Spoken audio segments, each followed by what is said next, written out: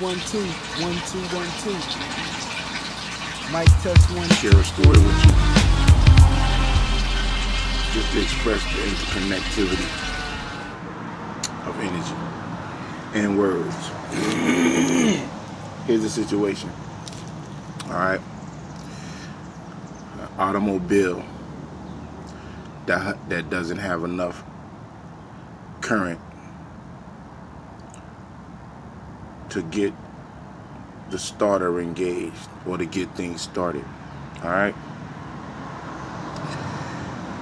The reflection of that energy is an occupation or a job or just over broke.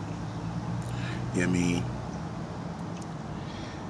That you work to generate currency or current. You know I mean? That isn't enough to get things started.